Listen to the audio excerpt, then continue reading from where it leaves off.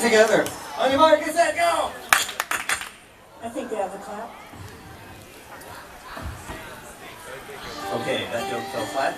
Moving on. Move along, blonde silver. Don't forget your part.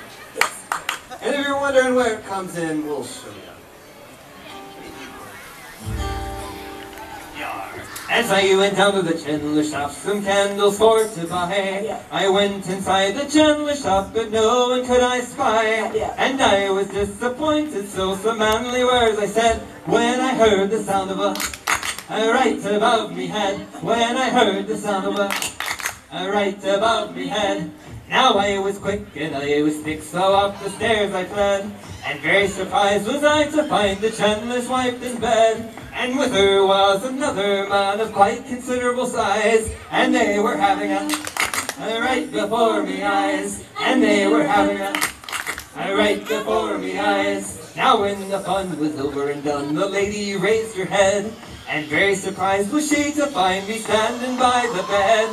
If you would be discreet, my boy, if you would be so kind, why don't you come up for some, whenever you feel inclined? Why don't you come up for some, whenever you feel inclined? So many the nights and many the days the Chandler wasn't home. To get myself some candles to the Chandler shop I roam. But never the ones he give to me, she give to me instead. Just a little bit more to light me way to bed, just a little bit more and light me way to bed. Now all you married men take heed whenever you go to town, that if you leave your wife alone, be sure to tie her down. And if you'd be so kind to her, just lay her down there on the floor and give her so much of that.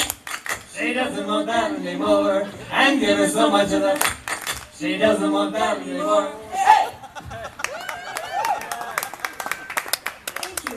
Be at uh, Taylor's doing Pirate Night on November 11th, so come on out.